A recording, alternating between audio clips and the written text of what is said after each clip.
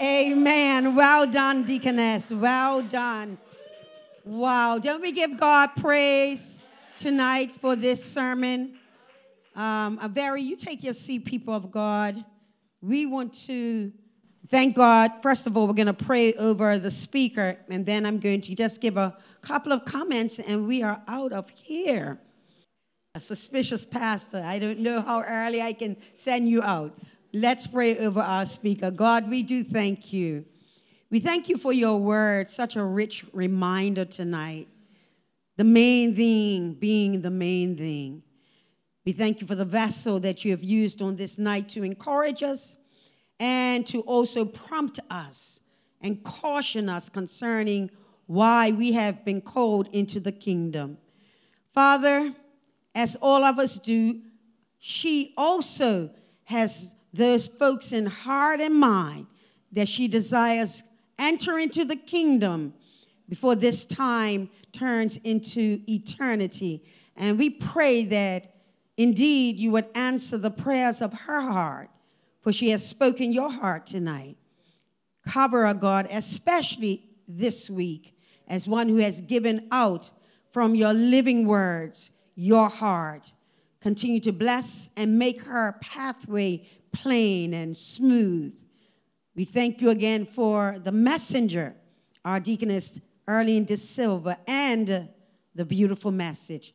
Now, God, keep us attuned to your heart that we would not only hear, but do and become that which you desire of us. We thank you for it in Jesus' name. And everyone says, Amen. Amen. A sober message, really because what has happened is that churches have become about church.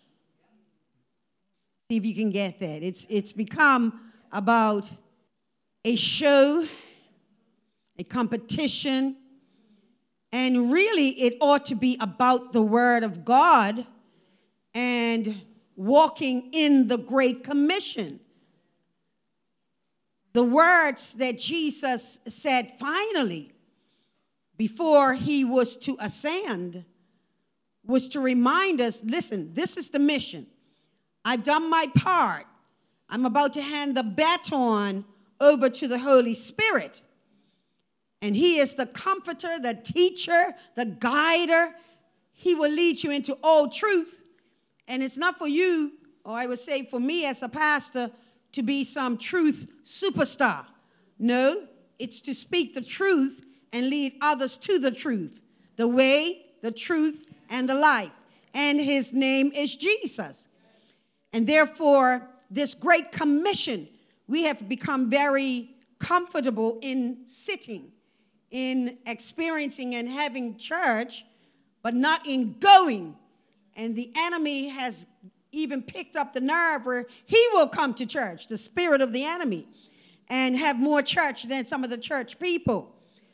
I take this sermon as a another clarion call by God to go. You know, if we don't go, we don't grow. In the spirit realm, if we don't go, we don't reproduce as a church.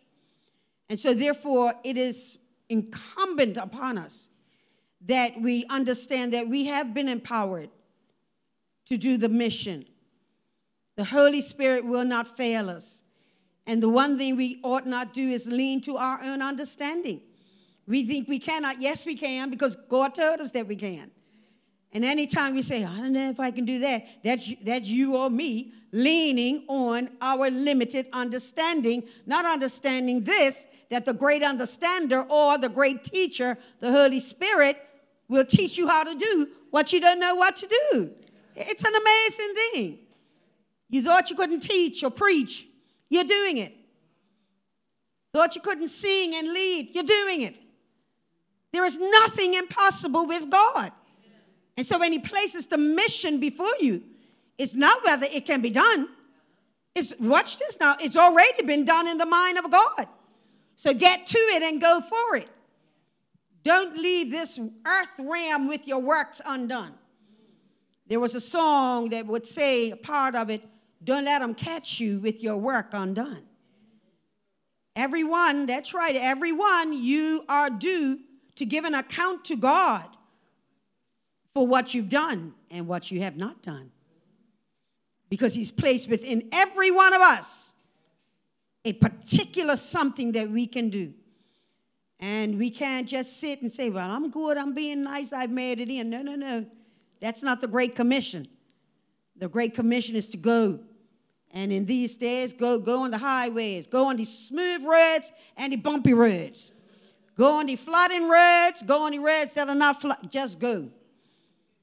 You know, we can't say, oh, it's impossible. You, some of you looked at some people, let me, that's a good way, Maria. Yeah. Some on that day, when the roads all flooded, they said, Mission impossible. I ain't going to work today. but some people took three hours to get to work because they said, I'm going to get to work. So, really, even though it looked like many had an excuse, I tell you what, some people said, What? Stay home, look out for my own children. To work I go. Right. There was a reason. Here's my point. In our humanity, when we want to do what we want to do for ourselves, we will do it. But let's take it now up to the kingdom and say, God, who have you given me to enter the kingdom? That's being a disciple. We're not going to meet each other, we're here. So we're going out there. Allow God to speak to you concerning one person and target that person. 100%, 100%, until you see them as a regular at Shekinah Worship Center. It's possible. You write that name down, put it somewhere in your home that you cross frequently, you see their name, and by God's Spirit, you say, God, make a way. Give me the words to say. Because we are out to fulfill the Great Commission. That's why I tell you, every time I go to my Walmart, Lindo's, I know the, the by now, all the baggage, um, the packers, they know we're going to get a story. It's going to be a, a conversation with, with this woman. Mm-hmm. Yes, it is. We never know who we're going to impact.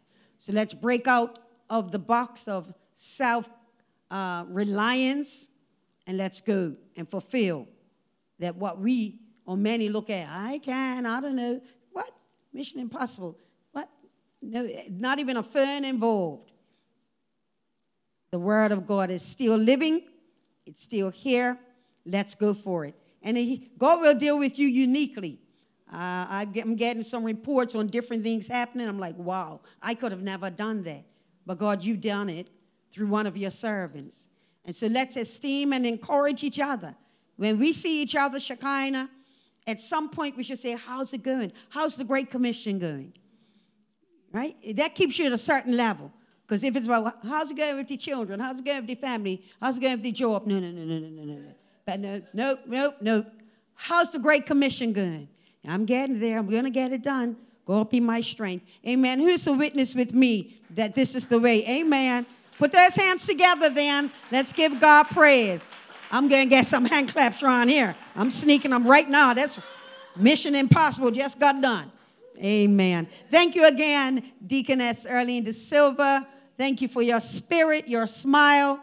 And I'm telling you, we've got some winners here. Let's now go and win them out there. Somebody needs Shekinah Worship Center. I would think so. No place finer than Shekinah. We are the pearl of a church in the middle of the Atlantic. I personally think we've been blessed to have the best church. Not, I'm the pastor. I better think that. Yes, I do. So, in that way, let's bring them in. Amen. Thank you again, everyone. God bless you for your obedience and your attendance. And I know that you've gleaned something tonight. And it's always better and preferred, if possible, that we are physically together. The enemy tried to take this out but we've taken it back. And we're going to keep on moving forward. Amen? Amen? Amen. All right, there, with that in mind, let's receive our Deacon Earl Trott. Amen. As he closes us out with the confessional benediction. Here he is. Amen. Let's give Father Trott. I tell you, we're just clapping for everybody. Amen. Let us say our benediction. We depart to a life of consistent prayer we depart to meditate on and study the Word of God. We depart to obey the word of God in our daily lives. We depart to share our testimonies and win souls. We depart to reign in life as kings and priests of the Lord Jesus Christ. We depart to conquer evil and show forth the love of God in a dying world. Jude 24, 25. Now I want to him that is able to keep you from falling and to present you faultless before the presence of his glory with exceeding joy. To the only wise God our Savior, be glory and majesty, dominion and power, both now and ever. Amen. Have a beautiful week, everyone.